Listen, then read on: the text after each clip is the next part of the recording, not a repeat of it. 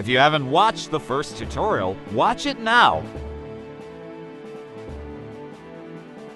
Add KB as a parameter of the remote event and TE hitbox function. Now make a new function called knockback. Set parameters for the person who got hit, the attacker, and the power of the knockback. Set variables for the player's humanoid root parts.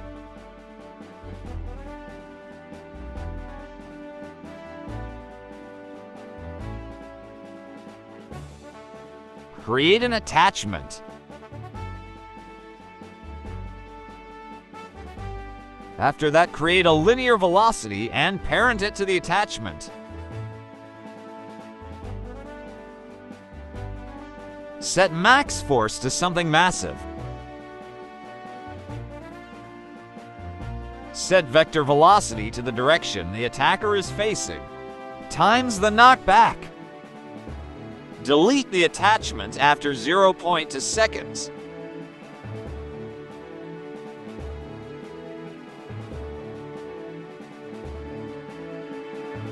Check if the KB value is greater than O. Then call the knockback function. Go into the local script and make changes to the knockback power.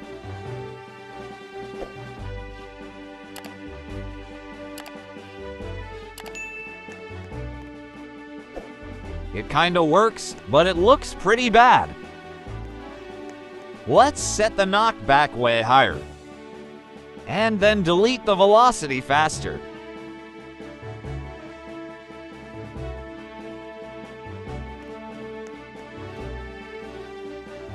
That looks a lot better.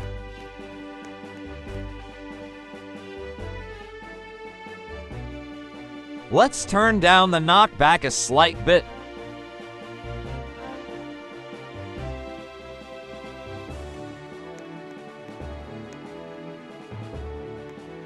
This is okay, I guess.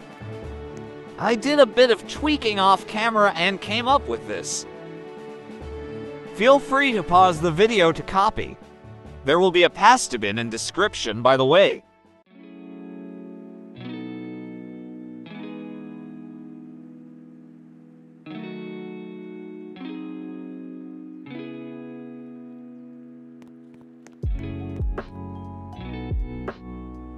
Bye.